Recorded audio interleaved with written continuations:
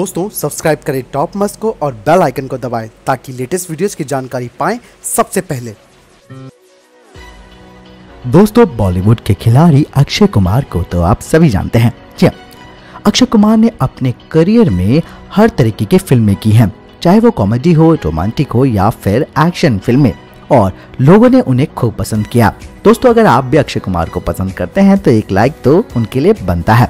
दोस्तों 1999 में अक्षय कुमार की एक फ़िल्म जानवर आई थी।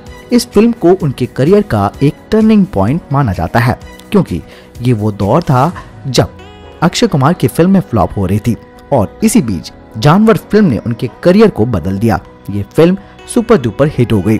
दोस्तों, इस फ़िल्म में अक्षय कुमार के साथ एक छोटे बच्चे ने भी बहुत महत्वपूर्ण भूमिका निभाई थी। आज हम आपको उस बच्चे के बारे में बताने जा रहे हैं।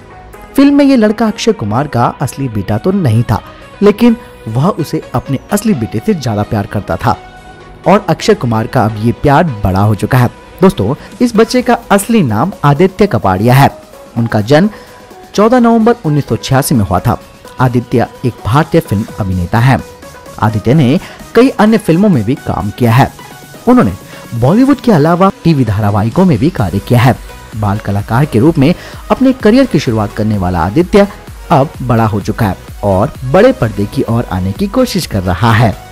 तो दोस्तों, आपको क्या लगता है कि क्या आदित्य एक बड़ा अभिनेता बन सकता है? क्या उनके अंदर इतनी क्षमताएँ हैं? ज़रूर अपने कमेंट्स हमें कमेंट बॉक्स पर लिख के बताएँ। साथ ही दोस्तों, इस वीडियो को लाइक करना न भूलें और इस चैनल को सब्सक्राइब करना ना भूलें। धन्यवाद।